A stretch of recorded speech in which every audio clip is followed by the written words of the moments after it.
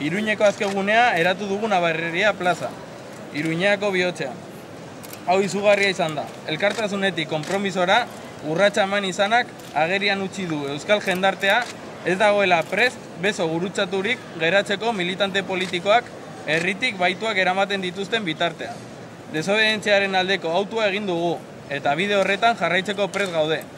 Carmen Albari estatuko indar errepresiboei zein epaik eta, zen, eta sententzia politiko bidegabe hauek guztiak babesten ari dituzten. Horiei mezu argia helarazi nahi diegu, gaurkoan. Ez dago herri honen aldarria.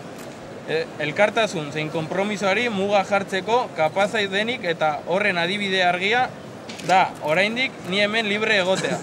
Iruñako azke gunea. Euskal Herritarren maitasun, keinu eta elkartasunez babestua. Azken hilabetetan burututako lan guztiak ekarri gaitu gaur onera. Amaika ekimen, barainenen egindako gizakate jendetsua, hainbat jendek adierazi digun elkartasuna, zoragarria benetan.